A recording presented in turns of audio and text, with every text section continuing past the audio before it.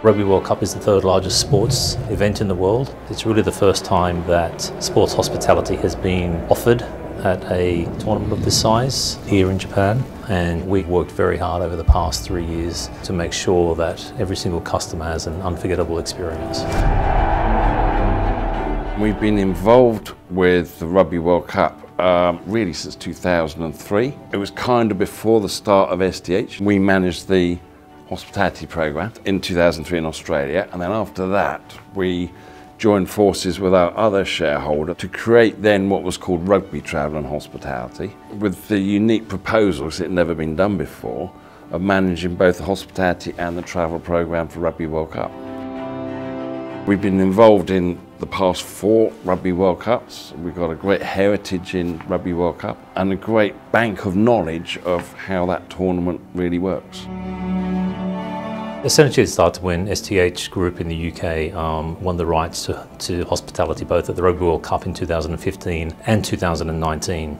Um, and we felt that we needed to have a local partner here in Japan to set up the business and to run the hospitality program. Someone that we could trust and work with that was well known in Japan that had a, had a great brand presence. So we worked with a local company called JTB. Um, Japan's largest travel agency, um, and we've been working with them very closely since, uh, since 2017. Working with JTB has allowed us to adapt and really understand the Japanese market. We have some staff from the UK who've got retained expertise of Rugby World Cup, but a lot of sales staff from Japan because they're good with the relationships in Japan.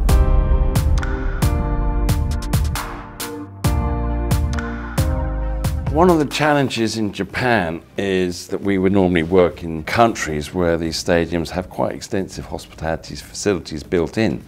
Because sport hospitality doesn't really exist here as an industry, we're working in stadiums where there's really no hospitality facilities. So we almost had to create everything from scratch, either within existing facilities that don't normally host hospitality or in building temporary structures. And then the other challenge, of course, is finding the suppliers to service that in that new industry.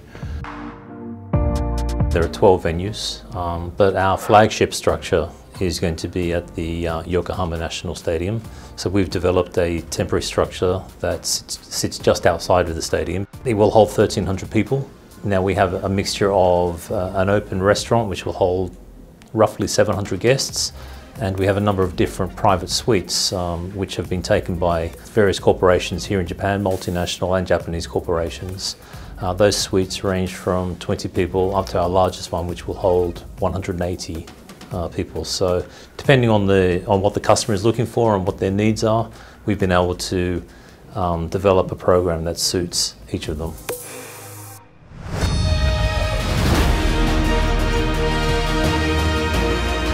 For Rugby World Cup 2019, we've created a variety of packages, um, different options and different price points and experiences. Um, our main stadium at Yokohama includes several packages ranging from private suites to shared restaurants um, to uh, more informal settings in Yokohama Arena. Um, regionally, outside of Yokohama, in the other 11 venues, we have um, simplified the product to have only um, two packages and that's proved really uh, successful for us and, and given us a good range of options for our customers. We've been really pleased with our sales, and, which have exceeded 60,000 packages and beyond 10 billion yen in uh, revenue. So um, a fantastic uptake from both the domestic market and the international market. Rights holders these days see the major travel and hospitality programs as a major enhancement of their their event. There's the obvious uh, benefit of monetizing that opportunity, but it isn't just that as well. It's about enhancing the name of the tournament itself, bringing that extra fan experience. If people really enjoy that experience, that makes them lifelong advocates of the event itself. And that's the power of sport hospitality. It's a memory that stays with you for the rest of your life.